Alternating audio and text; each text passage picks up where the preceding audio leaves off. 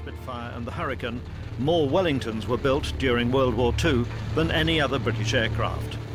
Aircrew love a plane that they feel that if they do their bit, the plane will do its bit. And with Wellington, fantastically strong, very robust, totally reliable. Crews always knew that even if you've been shot up on a mission, if you lost one engine, if you had all sorts of disasters of one kind or another, there was a very good chance that the plane would get you home.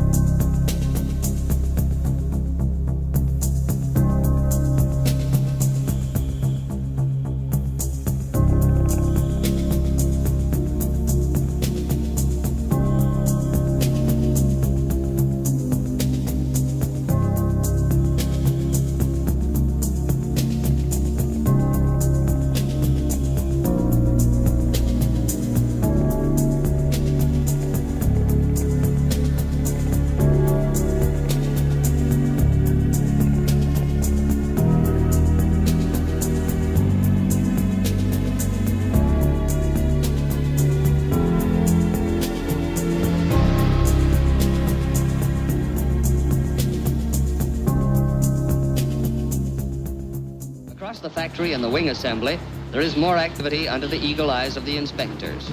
Though you may not think they're working fast, the progress they are making speaks for itself. For it's only 10 o'clock, one hour from the starting time.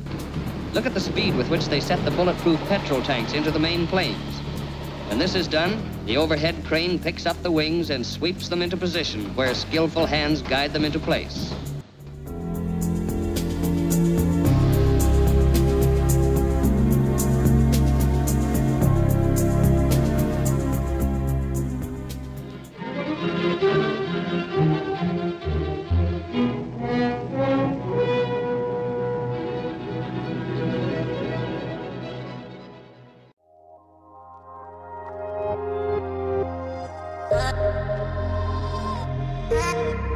Thank you.